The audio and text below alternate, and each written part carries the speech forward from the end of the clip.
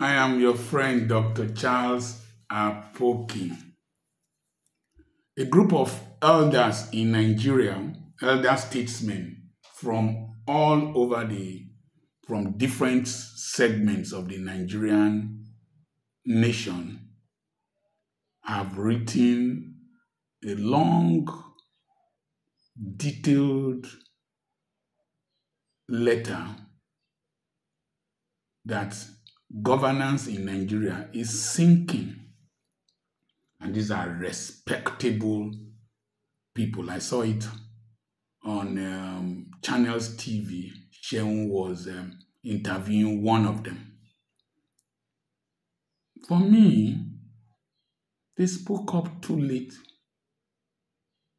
They should have started speaking very early when the injustice of a rigged election took place. Some of us spoke up, just like the time of the insurgency when they were blowing up churches and doing all kinds of things, attacking Christians in the north.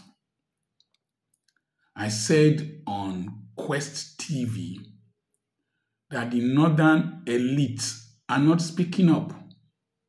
People like Gowon, people like um, who, oh, a lot of them Gowon, all the northern elites, they didn't speak up.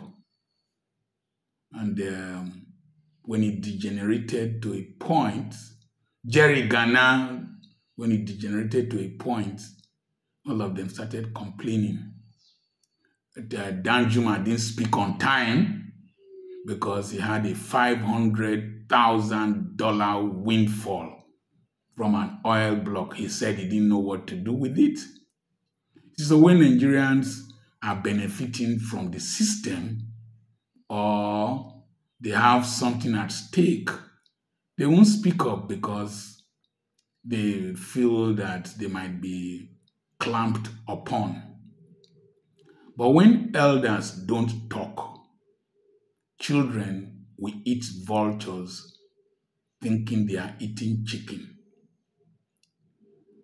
We, the elders of this nation, who are 60 years and below, I mean, and, and above, are partly responsible, if not wholly responsible, for the decay where, and the stench our children are fighting against. Most of the people in the street are my children's age mates. Tragically, with the elders, our children are not in the streets with the elite. They're not in the streets. But ironically, we are those who will come and benefit in terms of contract and positions and appointment and all that. If you see Bangladesh, Muhammad Yunus has been brought to come and head the government. I'm not sure he said anything against the government. I'm not sure his children were in the streets. That's the tragedy of revolutions. I was in the airport trying to fly back to Ughelli, to Osubi.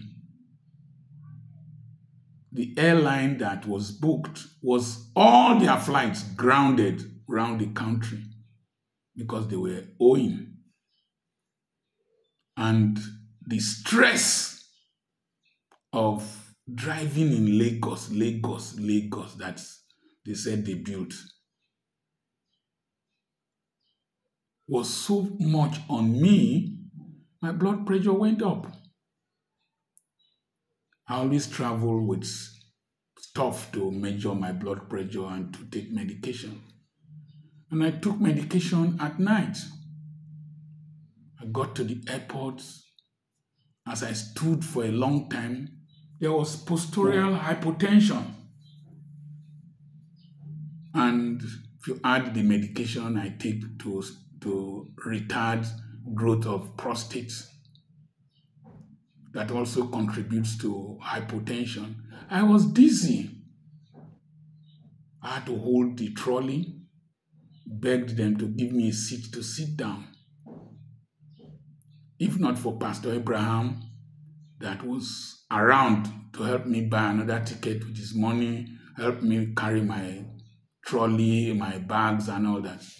I was thinking, if I collapsed in this airport now, I would definitely die. There's no defibrillator, there is no ambulance, there is no good clinic in the airport. Even if there's clinic, you might have ill-trained people. The crowd will not know what to do because we don't know cardiopulmonary res- resuscitation. I will have died. I say, God, take me home safely. What contributed to this stress? A week before then, I was in Benin. From Ughelli to Benin by road was four hours. My wife recently went for convention. If you watched my video with her doing a gogongongo, I was giving her emotional orgasm before she travels. And when I called her to the Gongongo, she was very excited. So when she, she, she took a long time to get to Benin, when I called her, she said, Now I understand what you passed through to reach Benin from Ughelli, something that is not supposed to be more than one hour. Bad roads. Bad roads in Lagos. All over Nigeria. People are putting me under subtle pressure. I should not talk. Why won't I talk? Why won't I talk? I should concentrate on economy, entrepreneurship, stupid people. How can economy be separated from politics? How can an elder statesman like me be afraid of speaking? Somebody said that uh, I made statements concerning churches and that they will frown at me. Bust you! And bust church people. You think at my age I need church invitation to, to feed or church invitation to, to survive? No, no, no, no, no. If my children want to take care of me, I will live very well. I'll go to Europe and stay. I don't need to be here. No, no, no, I've trained them. No, no, no, no. Church people, they are my least concern. I will say the truth. Don't invite me to your churches. We are so afraid. Shouldn't talk about politics. I have a master's degree from the social sciences in public administration. I made the best result, best graduating student at the age of 56. I had 10 A's. Who is most qualified? The economy of this country is driven from the oil wealth. My mother's community has 24 oil wells. I shouldn't talk because of afraid of being killed. No, I'm not. I'm more than that. Afraid of being killed. Afraid of being imprisoned. No, I died long time ago. I died long time ago. I will have. I have died long time ago. This is a spirit talking. The real me died long time ago. And that brings me to the point most of us are under subtle pressure. We don't know it. When you are thinking of buying 10 liters of fuel for 10,000, I'm going to preach in a church now. I'm going to buy fuel of at least 10,000 naira to go there. To go to my elder's birthday ceremony, I might need to buy fuel of 20,000 to get to Sapele. That's just 20 liters. Maybe it would be better to add money to it and give to him than to travel there. My medical colleague, his wife, and classmates to my wife died in Lagos Ibadan Expressway from accidents, bad roads, most likely. Two uh, uh, flight tickets, very expensive. I bought we bought two tickets for 300 and something thousand in Lagos, my, myself and Abraham. Abraham paid we are under subtle pressure. Every day my wife comes, let's drink tea. The tea will eventually land on my checkbook. I must sign money out. Pressure on her to pay the workers. The workers, the salary is not enough. It grieves my spirit. You will see them come and stand in the office just looking for money to manage. I can't increase the school fees beyond a certain limit. The parents are passing through the same pressure. So, what's happening? People of my age bracket are collapsing and dying. A professor, my junior in medical in uh, the University of Ibadan,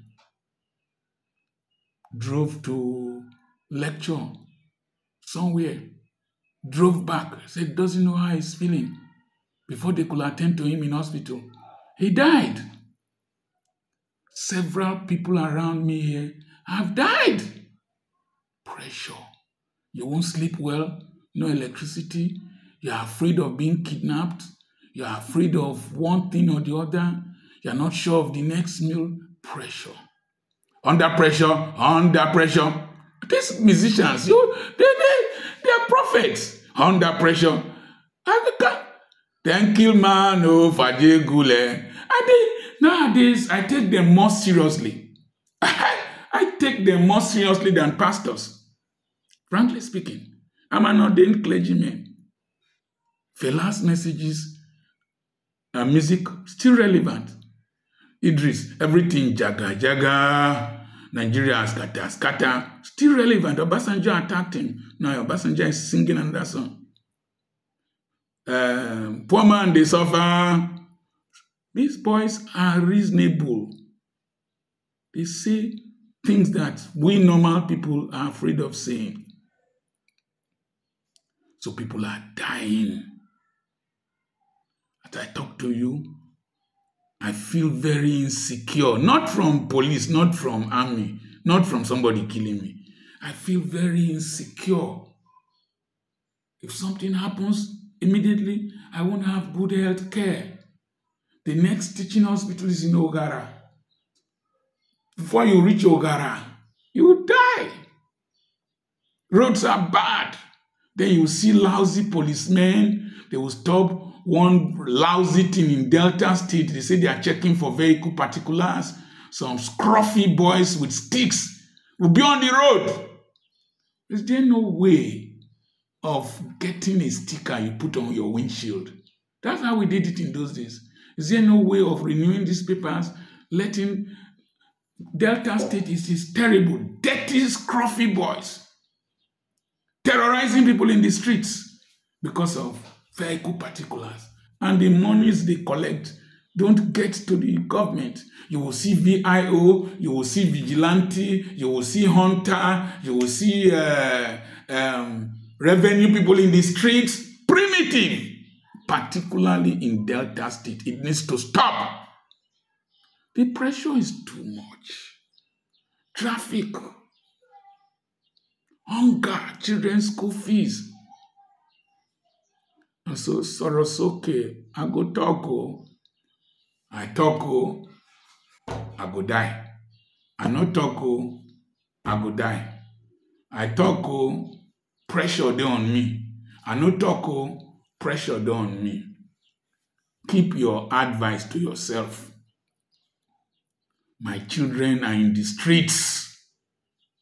My children are in the streets protesting for a better future that we protested for, they didn't see. And you want me to keep quiet.